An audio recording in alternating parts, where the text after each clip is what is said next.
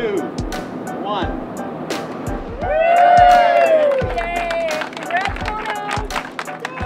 We actually we worked uh, with a local artist several years ago on trying to put together a, a neighborhood, citywide neighborhood sort of mural uh, creation project, and that never we were never able to get funding for that.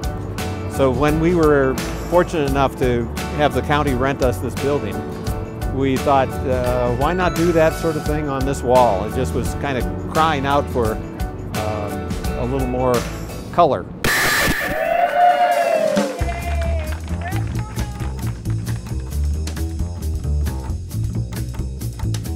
We expressed some interest in having that done to Leadership Pikes Peak, and one of their classes came came in with some enthusiasm, and the rest is this.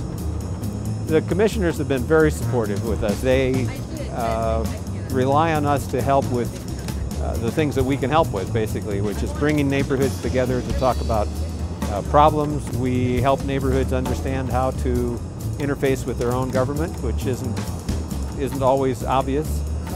Yeah, well, I think art is a great way to get people talking together, and uh, and it is, as this mural was, uh, usually a, a community of some sort collaborates to get wall art, public art, uh, on a on a wall, in the streets, something, in a park, that sort of thing. And so it is a great vehicle for bringing people together to talk, to be creative, to collaborate on the results of that creativity.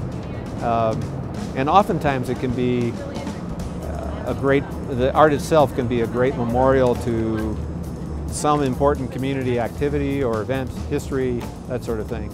And it also keeps people talking. There's not anyone who's going to walk by this wall and not have something to say about it. We hope this is not the only sort of mural of its type that, that gets uh, done uh, soon in the city.